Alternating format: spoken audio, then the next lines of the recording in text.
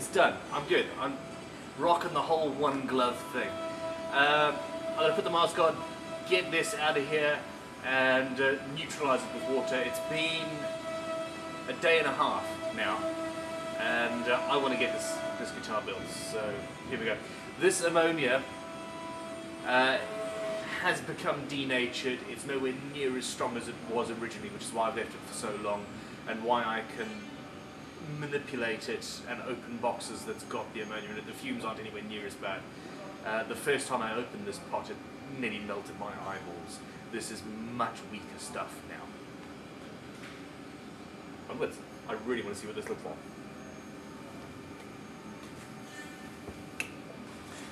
So the mask comes on and the voiceover guy comes out. That looks like some sort of nerve gas now.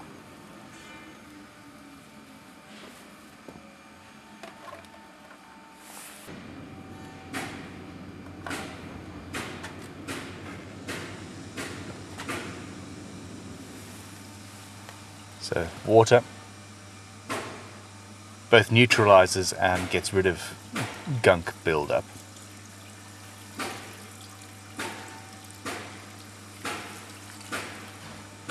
What we've actually got here is, uh, I think I might have put too much on of the salt and mustard, etc.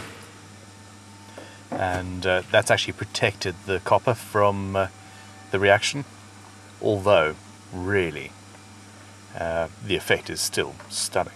Just not quite as blue as I was expecting. I misjudged the one glove thing. Damn it. yes, you did. So I'm very gently rubbing off stuff. And it took a lot longer than that. Bring it on!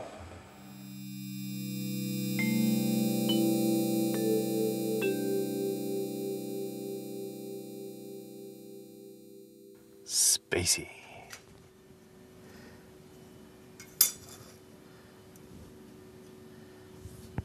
Would you look at that? So, so here we go. I'm incredibly happy. It's uh, got something that I haven't seen before, actually, which is these pinks and, and purples and blues and things in there. This is predominantly the fault of the mustard. So the, the blacks and the browns and the sort of, I, I'm going to say copper colours, uh, that's mustard. And then the little flashes of blue are salt. If I'd had more salt, well, it is what it is. This is how these things come out. They're, they're all different, and uh, you can adjust it little bits. But uh, I'm very, very happy. This is going to look stunning. Uh, it almost looks a little bit like abalone and uh, sort of pearly natural colours. I love it. Now, an interesting side effect is on the back. On the back, you get this sort of effect from where it was sitting on. Uh, well, that's not in the right frame. Let's frame it properly. There we go. Uh, you get this fantastic effect, which is uh, sitting on wet cling film. And uh, I also love that. I'm going to do this on, on something at some point. And there we have it. So, copper uh, with a mustard and salt patina. No, mustard and salt and ammonia patina. Uh, health and safety. Wear goggles. I forgot half the time. Uh, I'm not too worried because this is such a weak solution of ammonia, but uh, yeah, goggles, masks, outside, air. Don't be silly, like me. It's, I'm so happy with this. Um, yeah, there we go. Now, onto the guitar body. It has been a day and a half, two days since uh, the last coat of oil went on this, and I'm back and I'm going to finish building this instrument now.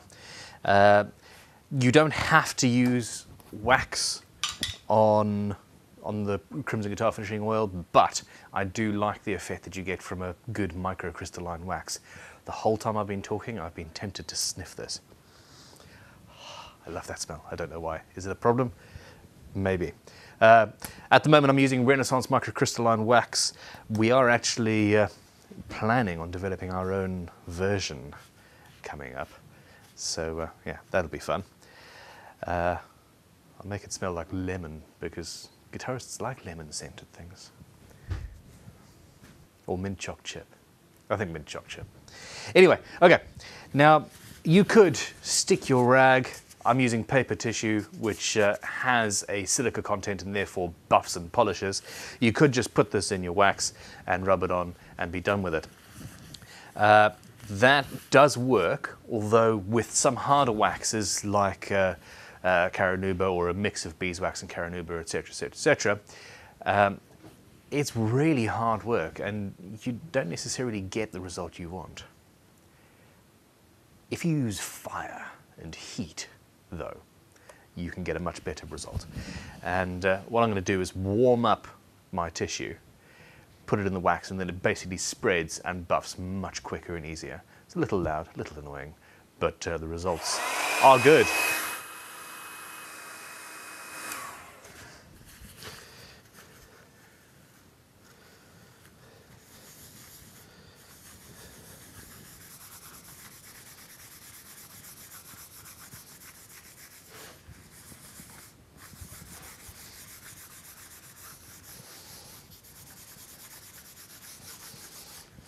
So I'm going across the grain here, which is pushing the wax into the grain uh, to make sure that I've got full, complete coverage, and then uh, buffing and rubbing every which way to sort of spread it and buff it and rub it because, you know, buffing and rubbing is necessary and fun at this point. Anyway,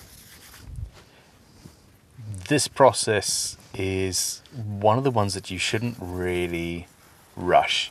In fact, as a general rule, if you think you've spent enough time on a finish, you probably want to go back and, and double that.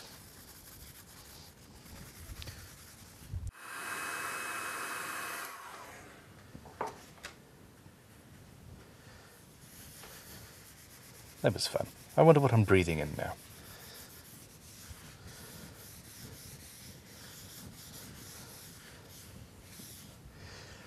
That's lovely. It feels so good. Very tactile.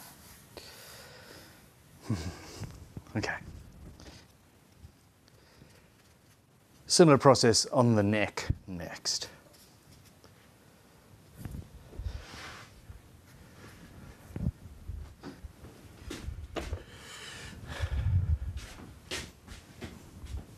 Is there a camera there?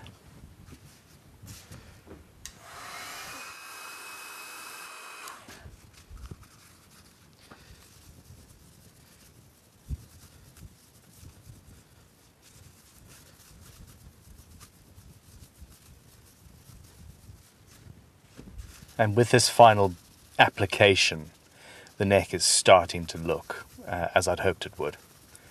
And uh, there's, again, this is the sort of the last 5% of work. And uh, uh, with finishing in particular, it's absolutely essential you put the time in. It's the first thing that the, the customer, in our case, sees. What are you laughing at? That was a little bit weird. I'm gazing directly into your eyes. No. Long day. I've decided to give up procrastinating, but um, I haven't quite got around to it yet. Bad joke, Ben. Should I do the frets that I don't want to do?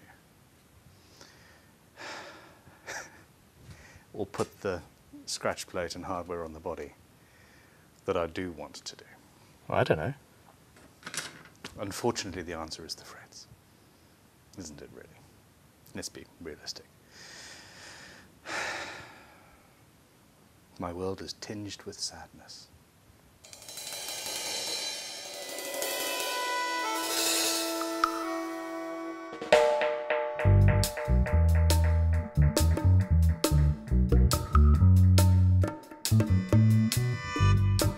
So we mask off the fretboard using a leveling file and then a leveling beam and then a leveling file. I kind of feel like I should be rapping now or something. fret rockers are absolutely essential. And back to the leveling beams to just polish the tops off. Crowning.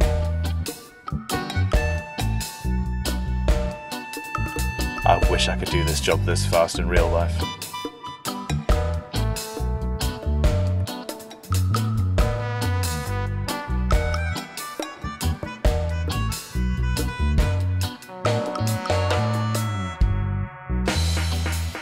And now the polishing commences.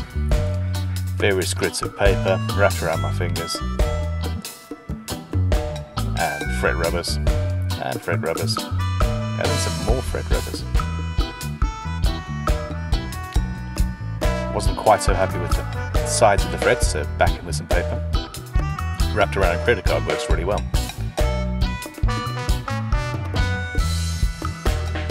Autosol. That looked like a leveling file, but it's a leveling file that had leather on the bottom that I use as a strop to polish frets. Fretboard cleaner and restoratives. And here we go.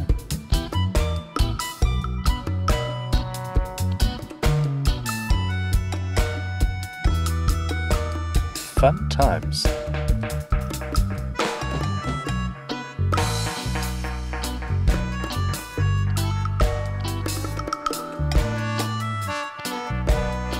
Focus, focus. Oh. Pretty.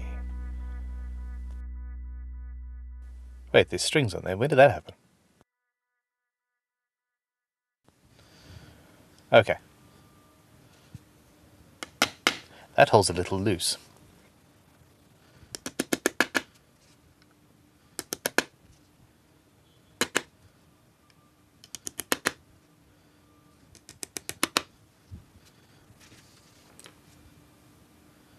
So these are Gotoh open back tuners.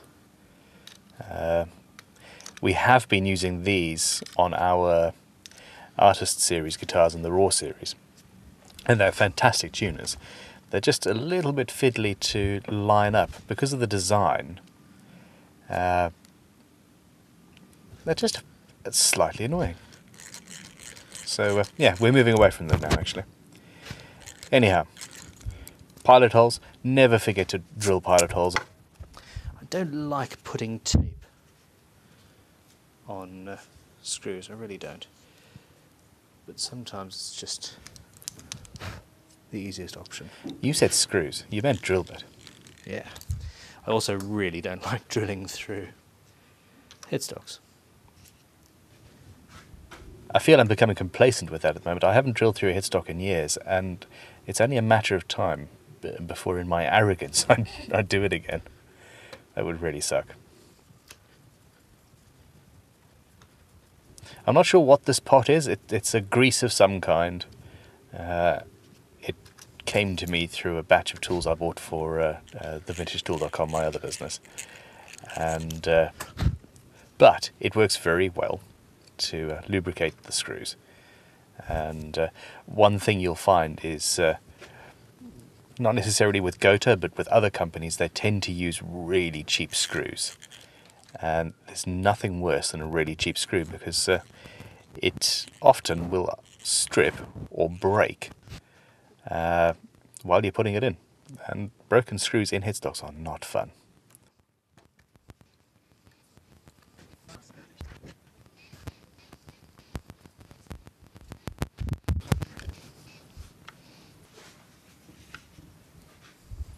Dusty. Ah. Time to fit a nut. This is bone.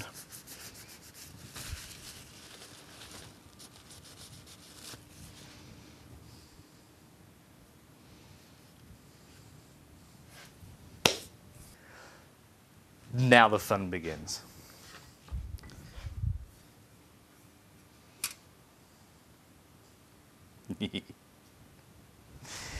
Ah, yeah. I sound far too happy with that. So you'll notice when I was doing the anodizing, I put these pieces in the positions they would be in so that we had hopefully, uh, some figuring that goes across both, and that's just worked. It's worked perfectly. I'm, I'm really, really happy with how this uh, guitar is turning out.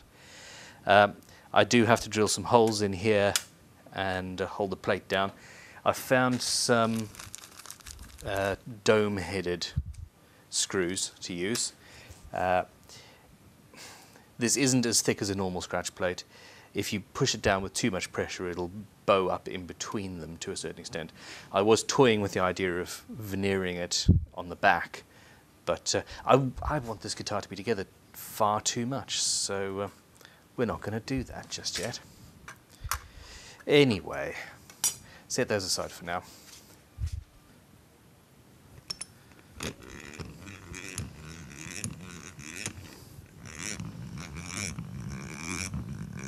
I really need to improve the vice on my main bench. It shall be done.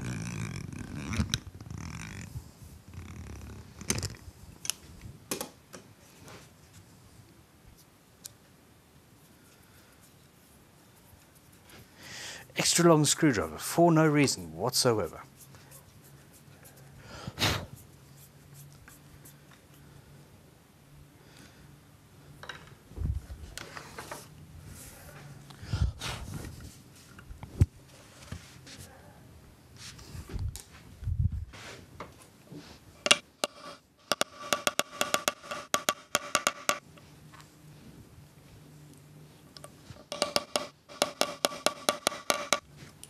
I'm not talking because I really like that sound. That's really cool. Okay.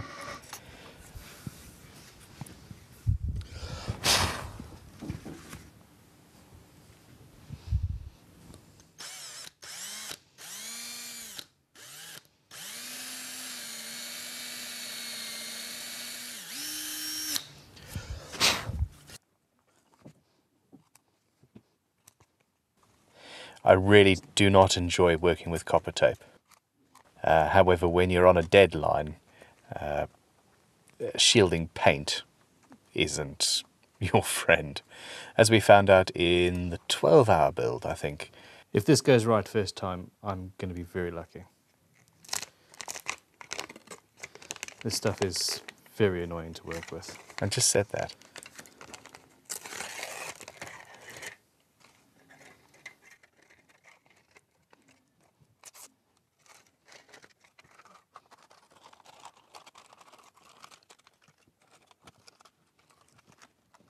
So, a little bit of copper gami here, and uh,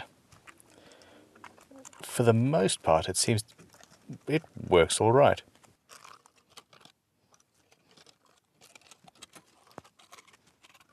Ish. Fiddly. Well, I never. Okay, I'm using a bit of wood there. I think it was a tool handle of some sort uh, to burnish it to the sides because the glue is starting to fail on this particular uh, copper tape.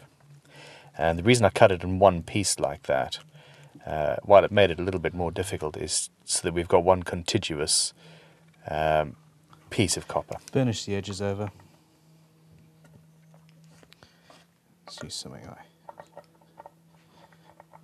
don't mind denting.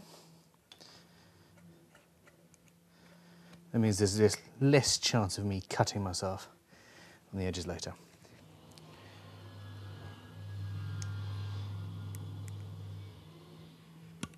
There we go.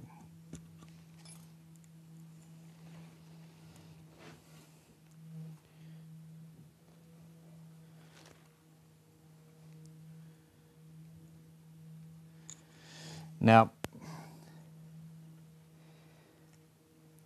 I know that putting in the ground wire is kind of superfluous uh, because on a Tele, at least, the pickup is grounded. The bridge is grounded through the pickup and and all of that jazz. But it really is a good thing to to not forget about entirely. Yes, I suppose I need to actually do this scratch plate first. I was hoping to have a, a great big reveal.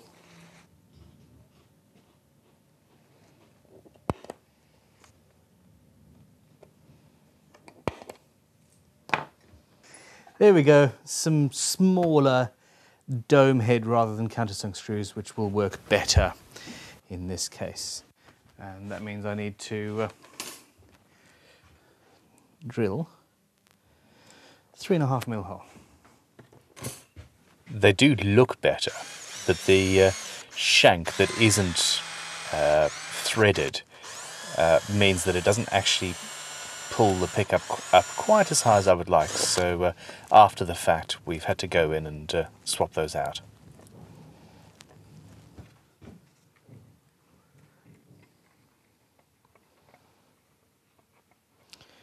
Yeah, that's looking good.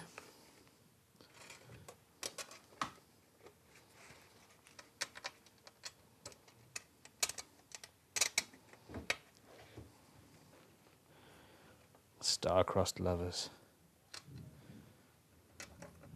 What are you talking about? I literally have no idea what I'm talking about there. Tell me in the comments below if you do.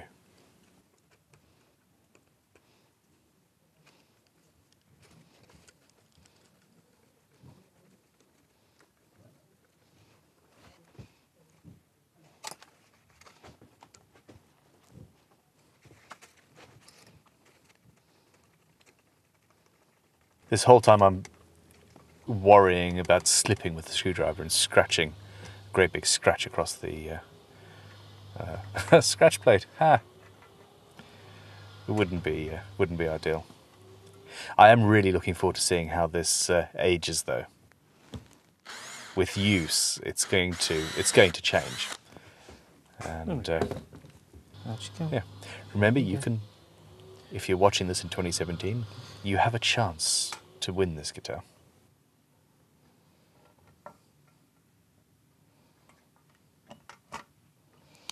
Right, I'm not going to screw this down until the. I can't help. Can you hear the smile in my voice? I'm not going to screw this down until um, the neck is in place and and all of that goodness. But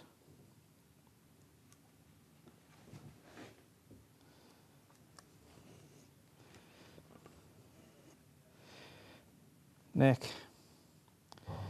I'm gonna. Let's uh, get some tape. So you'll notice that I've got two black wires, and uh, where I should have a black and a white, and uh, it's it's literally as simple as we unexpectedly ran out of white wires, and uh, Sam thought, well. Ben's a smart man. He'll look at the pickups beforehand and know which is which. And I am as far from an electrically minded person as is possible and just assumed, eh, I'll call Sam and he'll tell me which is which. Which uh, is exactly what happened, actually.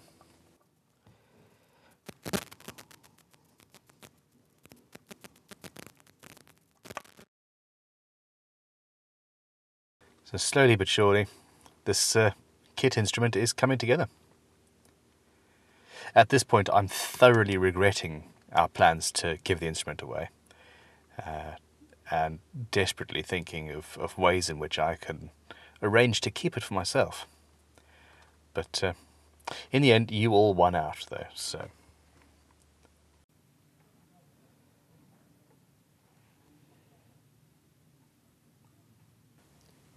We've skipped over a lot of the wiring because, hey, it's boring, not particularly photographic.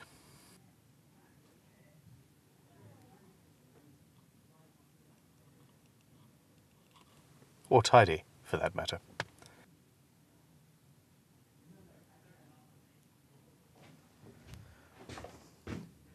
Okay. Okay. Let us see. Input blue LED. I love that little limited edition jam jar. Oh, that's promising. That's promising. What do I hit it with? Give me something to hit it with. There we go. Let's see.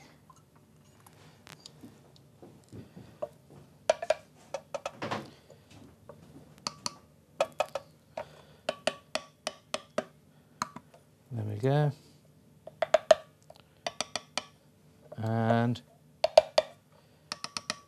We have we have sound. Whether it sounds good or not, we don't know. Of course, it sounds good. Um, because we require strings now.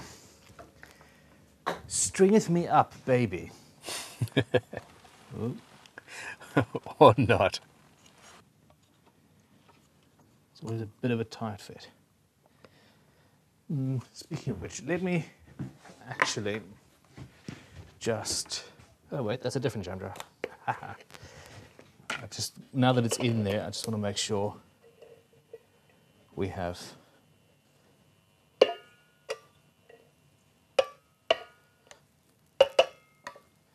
Yep, we're good. I do love jam jar amps. They're just fantastic little beasts. okay. Well, well. Um, I suppose we screw this beastie down. There we go.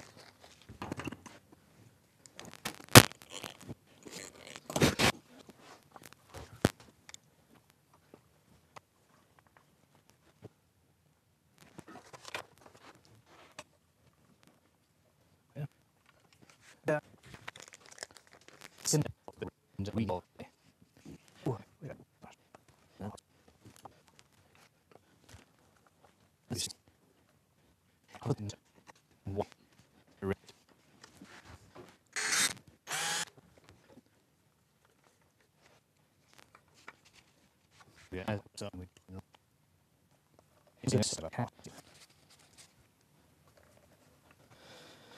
Okay, uh, that's in place. I'm gonna double check the neck for fit next to the scratch plate. Okay, neck in place. Scratch plate in place.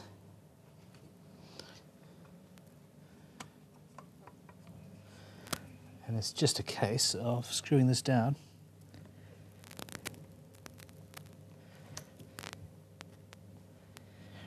I might have to put a few more screws in. But uh, we will wait and see.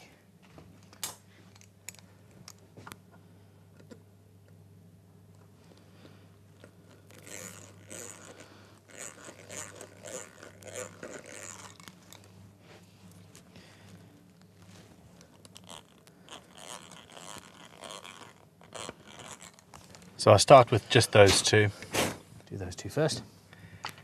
and uh, that keeps the rest stable and uh, unmoving. Now, these little screws that I found uh, came with some kits to make uh, pickups, or at least came from a pickup supplier, and uh, they are soft. And uh, if you slip slightly, it uh, destroys the uh, the socket that your screwdriver goes into, and uh, it's not ideal. Uh, now, yeah, the most important thing to do when you're using screws is to make sure you've got the exact right size screwdriver. It's uh, surprising how many different sizes there are, unfortunately.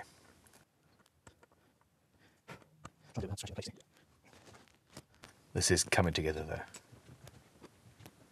I really am very, very happy with how this guitar is, is starting to look.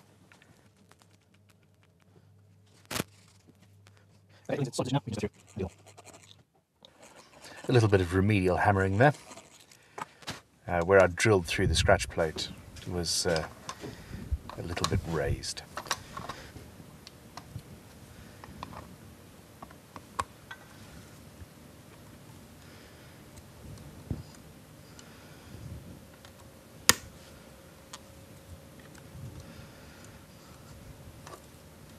I always try and put the Allen key facing away from the musician uh, when it's in its full on position.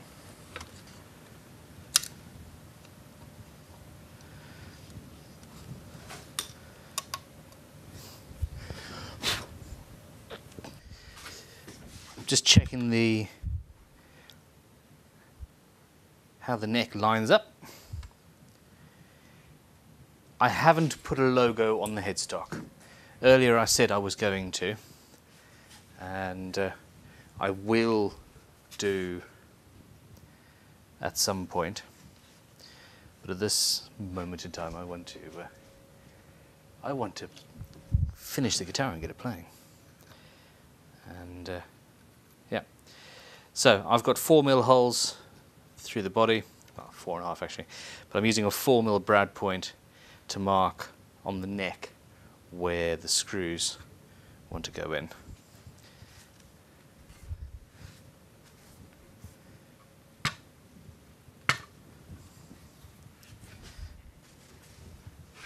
Yeah, that's nice and clear.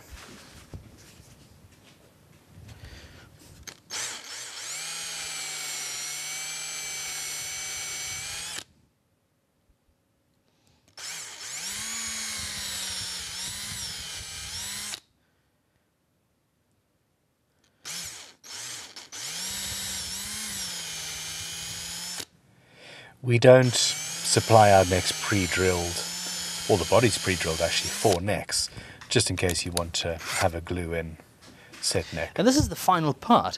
Uh, actually, something I'm not used to is putting a neck on at this stage of a build, because uh, most instruments I build, most instruments I build, have uh, set neck or through neck construction. But uh, yeah, it's somewhat exciting.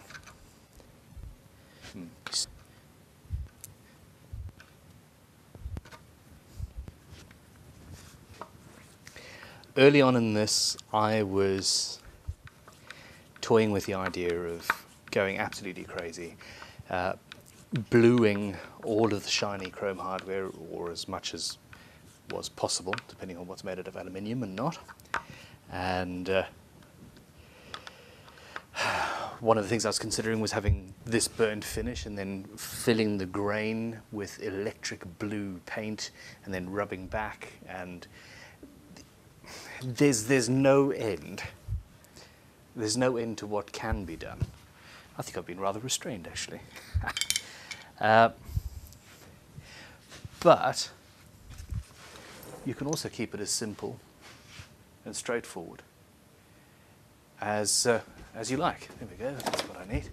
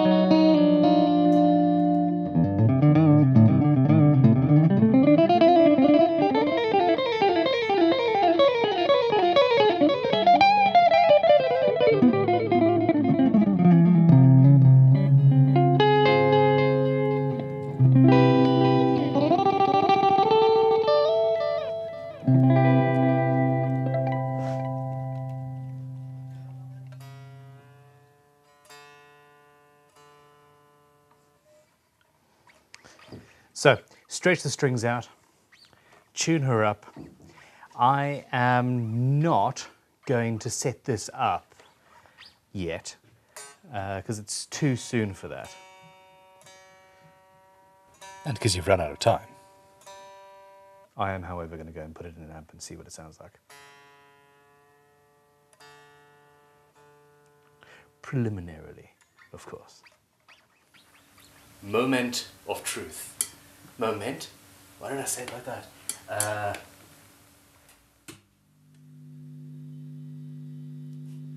I feel like uh, I'm in Back to the Future.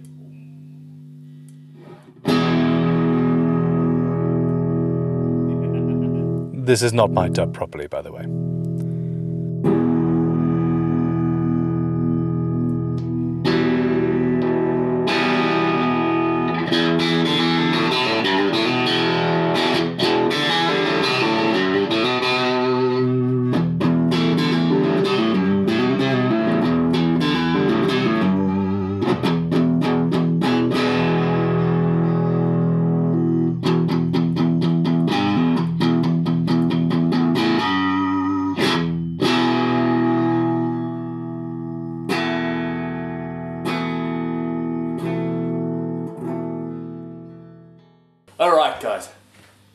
Forgot you were there.